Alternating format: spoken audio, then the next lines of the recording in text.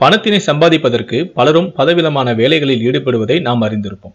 இங்கு சம்பாதிப்பதற்கு பெண் ஒருவர் செய்த காரியம் அதிர்ச்சியை ஏற்படுத்தியுள்ளது.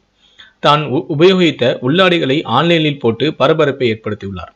இருபத்தோரு வயதான இந்த இளம்பெண் உள்ளாடைகளை விற்பனை மூலம் மாதத்திற்கு ஆயிரத்தி எழுநூறு டாலர்களை சம்பாதித்து எல்லோருடைய பார்வையும் தன் மீது திருப்பியுள்ளார். அவர் தன்னுடைய பட்டப்படிப்பை முடித்தவுடன் கூடுதலான வருமானம் கிடைக்க நிறைய உள்ளாடைகளை வாங்கி கொண்டு வந்து விற்க தொடங்கிவிட்டார் ஜோடி ஒன்றுக்கு சுமார் நூற்றி இருபது டாலர் வரை விற்கிறாராம். அந்த உள்ளாடைகளை அவர் எவ்வளவு நேரம் அணிகிறாரோ அதற்கு ஏற்ப விலையும் கூடுதல் என்கிறார் அவர். இப்படித்தான் தான் அணிந்து விற்கப்படும் உள்ளாடைகளுடன் முப்பத்தி ஏழு டாலர்கள் கூடுதல் என்றும் அவர் கூறி வருகிறார். மேலும் வாங்குபவர்களுக்கு ஏதுவாக அந்த உள்ளாடைகளை அணிந்த புகைப்படங்களையும் ஆன்லைனில் போட்டு கலக்கி வருகிறார்.